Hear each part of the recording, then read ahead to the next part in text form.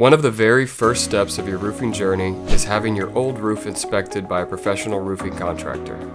So, how much will it cost?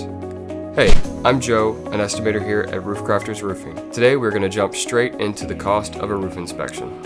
By the end of this video, you will know how much does a roof inspection cost and what impacts that cost.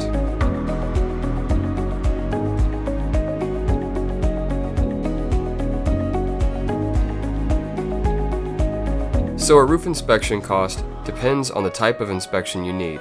If a storm comes through, be it a hurricane or a hailstorm, those types of inspections will be free.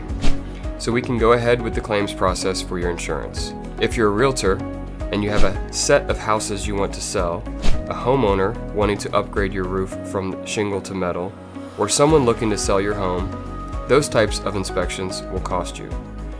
Cost of a roof inspection would typically range from 250 to $1,000 depending on the size and complexity of your roof, for both residential and commercial.